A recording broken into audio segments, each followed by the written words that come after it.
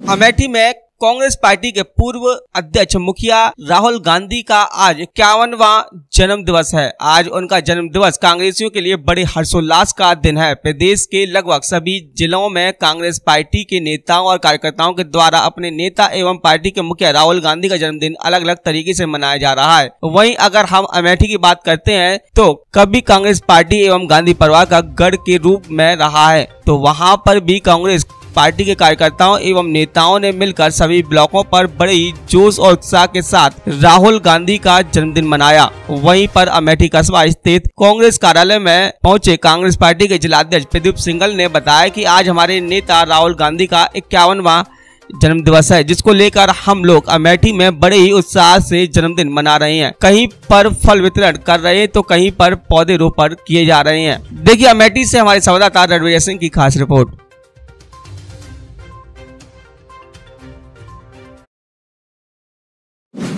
क्या नाम है आपका? दीप सिंह किस पद पर हैं?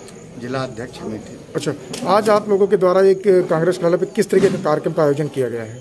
आज हमारे नेता राहुल गांधी जी का इक्यानवा जन्मदिन है जिसको बड़ी धूमधाम से हम लोगों ने पूरे अमेठी वासियों ने बनाया है।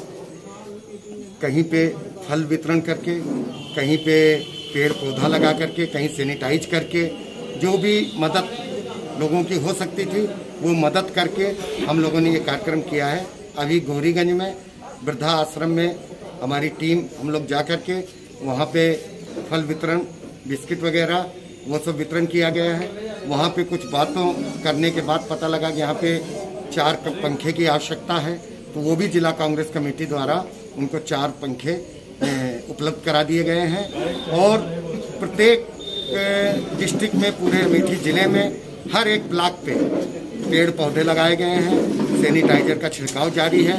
इसी तरह मिलकर के बड़ी धूमधाम से राहुल जी का जन्मदिन मनाया गया है और अमेठी कांग्रेस अध्यक्ष की तरफ़ से केक काट करके सभी साथियों के साथ राहुल जी का जन्मदिन मनाया गया और उनकी दीर्घ आयु होने की कामना की गई।